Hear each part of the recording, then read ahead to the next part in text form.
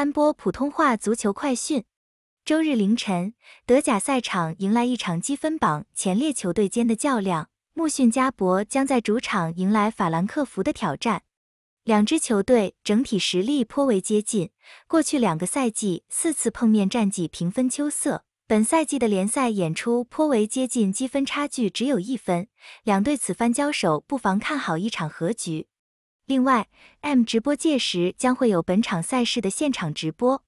穆逊加柏本赛季在德甲赛场主客场表现差距极大，在主场五战获得四胜，而做客五场出现了四场和局，主客场攻防表现差距肉眼可见。球队能够在主场踢出十二比四的得失球表现，阵中马古斯杜林等攻击手火力十足。马古斯杜林个人本赛季攻入七球。位列神射手榜前列。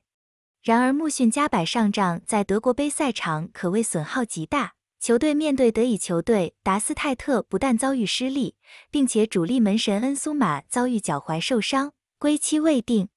门线上失去了恩苏马，会令穆逊加柏防线失去定海神针。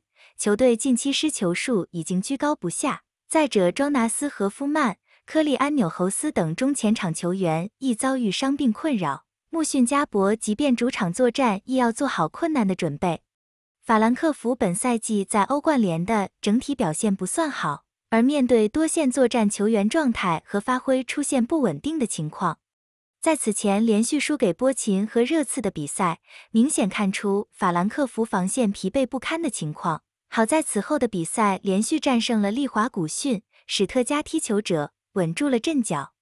本赛季法兰克福在德甲表现总体来说是不俗的，十场联赛获得五胜二和三负。但细看攻防数据，攻入二十一球，有十七个失球。虽然连田大地为首的进攻线球员入球能力不俗，攻击点颇多，但是均场一点七个失球，是球队没能取得更好成绩的关键。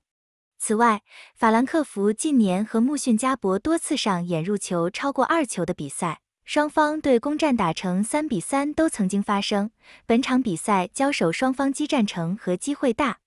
阵容方面，后卫长谷不成和前锋安斯加纽奥夫等人因伤避战。